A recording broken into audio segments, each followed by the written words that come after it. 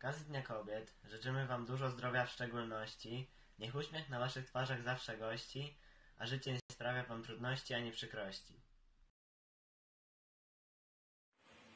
Niech wiatr pieśń niesie wam radosną, byście czuli się jak wiosną.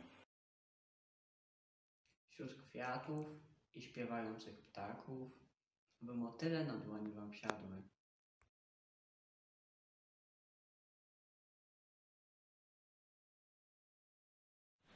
Dziś powinniście być królowymi, odpoczywać cały dzień. Komplementów słuchać dużo, wszystko na sknienie mieć.